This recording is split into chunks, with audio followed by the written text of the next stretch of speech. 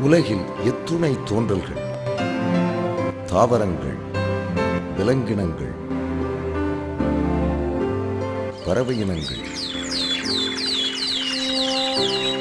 மகத்தான மனித இனம் பிறத்தல் அரிது மானிடராய் பிறத்தல் அரிதினும் அரிது. அதனினும் கூன் குருடு செவிடின்றி பிறத்தல் அரிதென்றார் பெரியோர். இவை அனைத்திற்கும் கூட மருந்துண்டு. ஆயின் மருந்தில்லா நோய் வருமே என்றால் அதனினும் கொடியது எது? ஆம் நிவாரணமில்லா நெடுந்துயர் நிவர்த்தியில்லா பெருந்துயர் நிம்மதியில்லா கடும் துயர் எது? இதோ நோயற்ற வாழ்வே குறைவற்ற செல்வம் என்றார்களே. இதனை நோய் என்பதா? துயர் என்பதா? முன் செய்த பாவம் என்பதா. தசைத்திறன் குறைபாடு.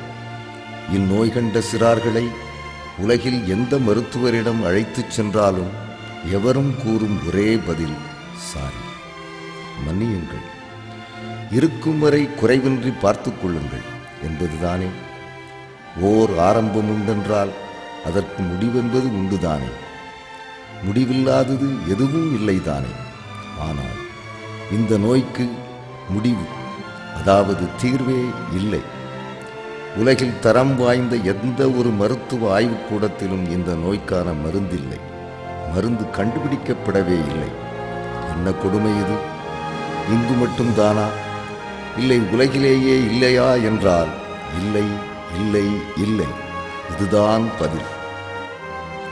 பிறகு இதற்கு தீர்வுதான் என்ன என்றால் மருத்துவர்களின் பிதுங்கிய உதடுகள் தான் பதில். ஆடி காற்றை அல்லாடி கிழிந்த வாழை இணை போல் தொங்கிய முகத்துடனும் கீழ்நோக்கு பார்வையுடனும் அசைவற்ற உடல் உறுப்புகளுடனும் தளர்ந்திட்ட இந்த இளம் சிறார்களுக்கு வெடிவுதான் என்ன?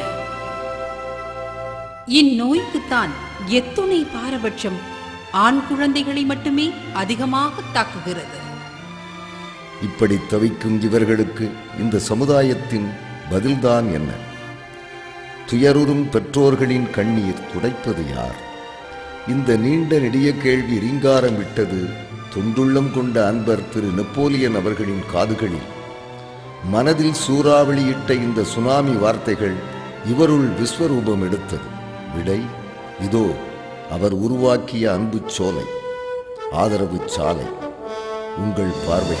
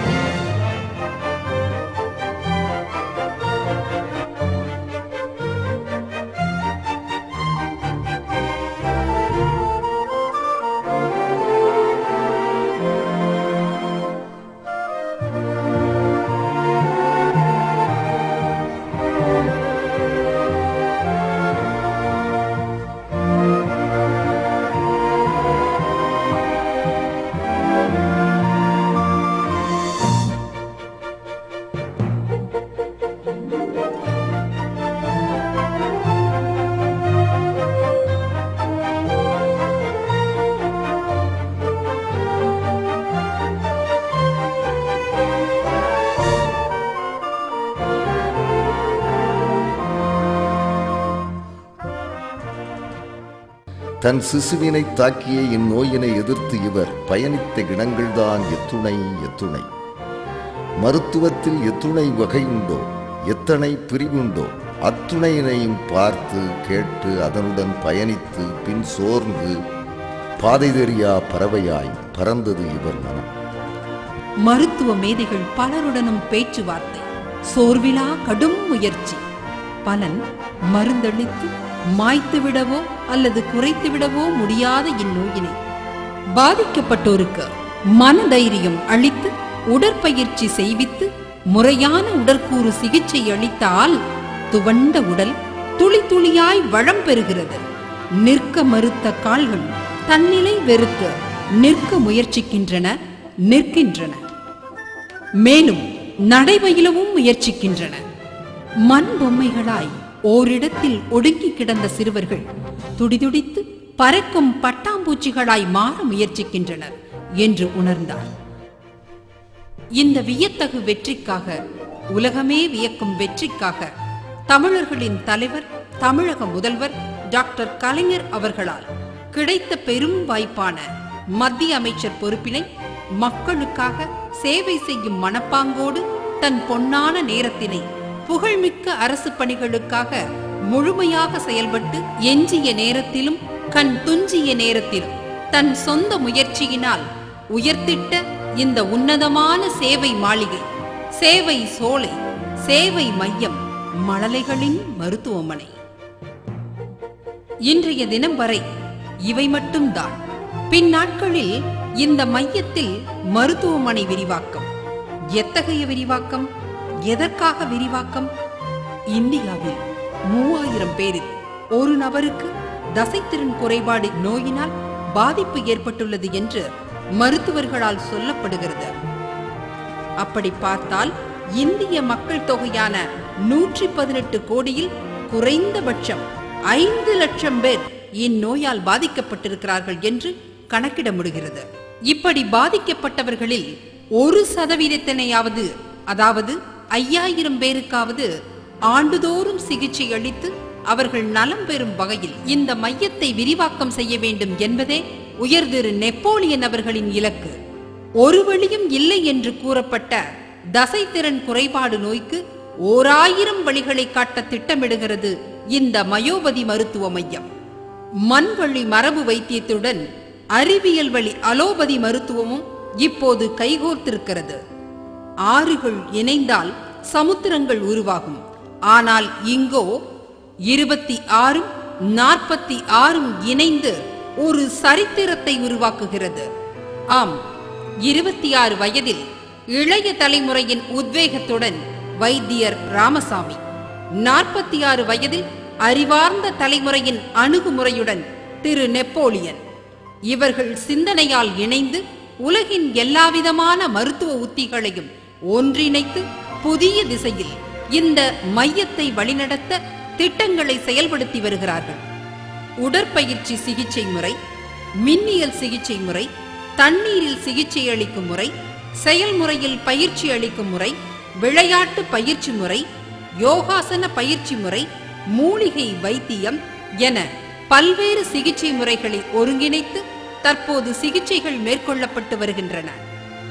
பிற நாட்டு நல்லறிஞர் சாத்திரங்கள் பெயர்த்தல் வேண்டும் என்ற பாரதியின் வாக்கிற்கிணங்க சித்தா ஆயுர்வேதம் யுனானி அக்குபஞ்சர் ஹோமியோபதி என்று உலகில் எத்தனை மருத்துவ பிரிவுகள் உண்டோ அத்தனையையும் அலசி ஆராய்ந்து நன்முறைகளை நயமாய் இணைத்து சிகிச்சைகள் வழங்கவும் முயற்சிகள் மேற்கொள்ளவும் முனைப்புடன் இருக்கிறார்கள்.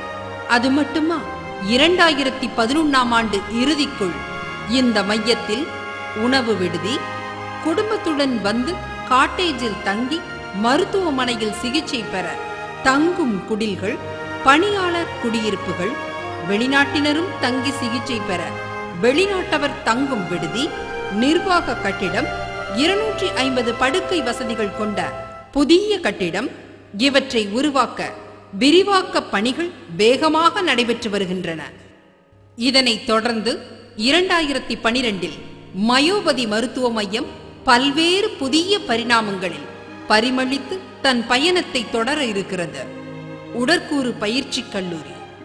இந்த நோயினை அக்குவேறு ஆணி வேறாக அணு அணுவாக அலசி ஆராய்ந்து பலன் பெற விஞ்ஞானிகள் குழுமம் கொண்ட ஆராய்ச்சி மையம் செவிலியர் கல்லூரி. ஒட்டுமொத்தமாக ஒரு மருத்துவக் கல்லூரியாக மாறிட வளமான வாய்ப்புகள் உள்ளன. குறையுள்ளோர் நிவர்த்தி பெற நடமாடும் மருத்துவ முகாம்கள் என்று சேவையின் சிகரமாக மாற உள்ளது மயோபதி மருத்துவ மையம். அன்புள்ளம் கொண்டோரே மற்றவர்களுக்கு வாழ்வளித்து மகிழ்ச்சி ஊட்டி அவர்தம் முகம்